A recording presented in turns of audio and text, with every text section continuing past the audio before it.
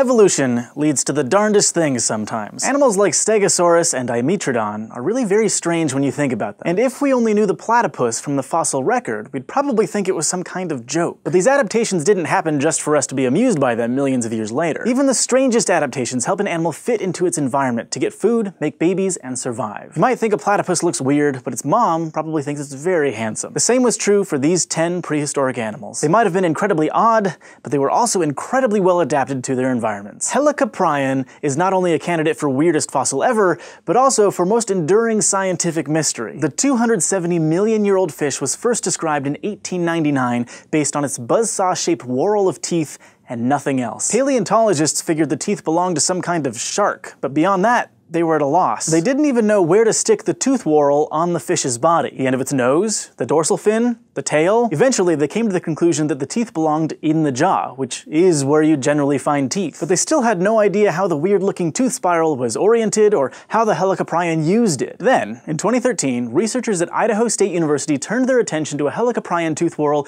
with some of the animal's jaw cartilage preserved around it. The fossil was discovered in 1950 and left sitting in a museum for a while. Scientists had waited until 1966 to formally describe it, but even then the cartilage seemed too mangled to be informative. Then, CT scanners and computer modeling came along. Using this technology, the researchers decided the whorl must have fit at the base of the creature's jaw. They also found that Helicoprion isn't quite a shark. It's a closer relative to ratfish and chimeras, the type of fish not the mythological creature. But how on earth would a wheel of teeth be useful? Well, probably the same way a saw would be useful. Helicoprion probably fed on soft body organisms like squid. That round jaw wouldn't exactly spin like an electric saw, but it would rotate a little bit as the animal closed its mouth, catching prey on the teeth and dragging them inside. Quetzalcoatlus was a giraffe-sized pterosaur named after an Aztec god. This huge flying reptile from the Cretaceous period, between 65 and 145 million years ago, had a wingspan of more than 10 meters. It seems to have evolved the ability to walk on its front legs again even after its pterosaur ancestors evolved flight. So it walked on its front feet, but its last digit stuck out with the tip of the wing hanging off of it. Fossil remains of Quetzalcoatlus are pretty fragmentary. We know that it was a pterosaur, and we know that it was big, but how big it was, what it ate, and whether it could fly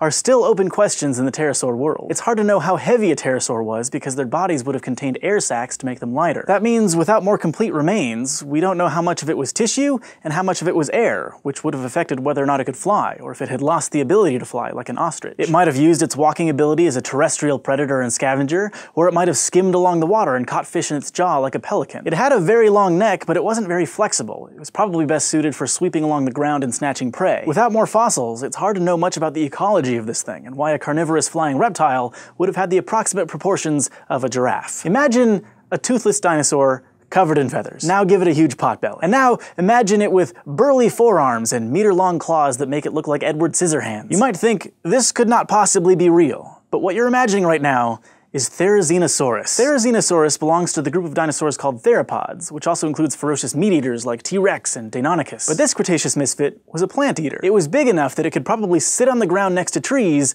and use its claws to reach up and strip off vegetation. The big gut might seem out of place, but it's the best practical way to digest plant matter. That's why cows and manatees have a similar big-bellied look. We don't know for sure why its claws were so long, but Therizinosaurus's odd proportions would have made it very slow. So in addition to using them to slice off vegetation, it may have needed them to fend off predators. And the giant arms, so different from a T-Rex's?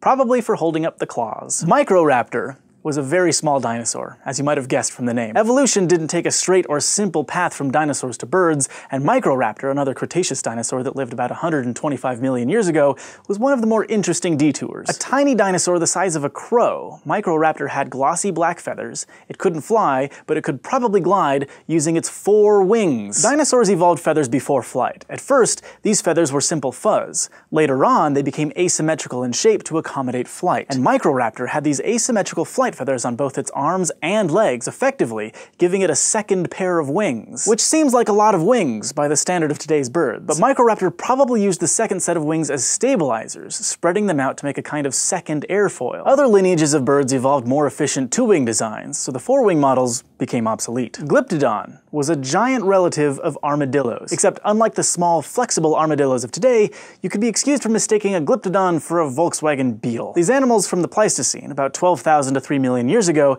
had a huge dome of armor covering most of their bodies, as well as additional plates on their heads and tails. Some species even had tail clubs. So much protective armor might seem like overkill, but fossils of Glyptodon have been found with holes in their skulls, holes delivered by predators with giant teeth. So when your neighbors are saber-toothed cats, it seems you can't have too much armor. We often refer to Glyptodon as a giant armadillo, and they were related, but Glyptodons and armadillos, as well as their relatives the pampatheres, are distinct evolutionary lineages, so Glyptodon wasn't really an armadillo, more of a separate sort of car tank thing. It looks like a camel with a trunk, but Macrauchenia isn't closely related to camels or elephants. It belongs to an extinct group of South American mammals called Litopterns, which died out at the end of the last ice age 12,000 years ago. Litopterns are technically ungulates, meaning they're related to things like antelope, and camels, but distantly. It might look a little silly, but Macrauchenia's adaptations allowed it to take advantage of any plant food it came across. The trunk was good for plucking leaves and branches, and its teeth were shaped for grinding tough grasses. These adaptations allowed it to spread throughout South America and outlive all the other Litopterns, possibly even outlasting the Ice Age. I guess it was worth looking a little strange if it meant surviving. This next animal actually is an elephant, and it's a pretty outlandish variation on the elephant body plan. But Platybelodon, an elephant from around 8 to 20 million years ago,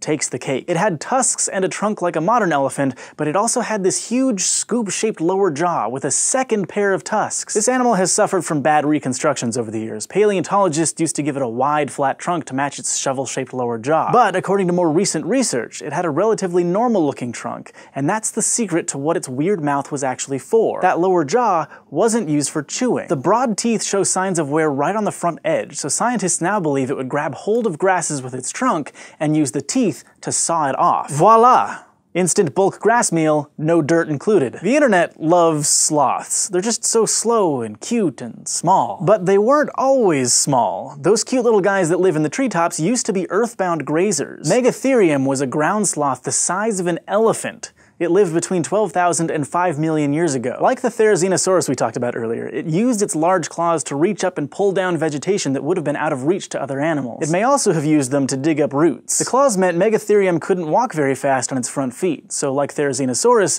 it would have been pretty slow. But it was also so big that most predators couldn't get their teeth into it, so it didn't matter. It could just plod along and feed as slowly as it liked. I guess that's one thing Megatherium and modern sloths have in common. If you're not a fan of creepy crawlies, you're not gonna like this one. Arthropleura was a millipede that could grow up to two meters long and half a meter wide. That is longer than I am tall. Luckily, we know from its fossilized poo that it was probably a vegetarian. If you're wondering what possible reason a millipede could have to grow that big, well, it was probably so big it didn't have any natural predators. And like other arthropods, a category that includes insects and spiders and crustaceans, it was able to grow bigger during the Carboniferous period, 300 to 360 million years ago, because back then, Earth had a higher percentage of oxygen in its atmosphere. Arthropods don't have circulatory systems like we vertebrates do. They need oxygen to diffuse through their bodies instead. When oxygen is scarce, that requirement keeps them relatively small. But when there was a lot of it, here come the giant B-movie bugs. Animal life was just starting to get a leg up in the Cambrian, 485 to 540 million years ago. That meant some seriously strange body plans and new predators at the top of the food chain. Anomalocaris, a name that means weird shrimp,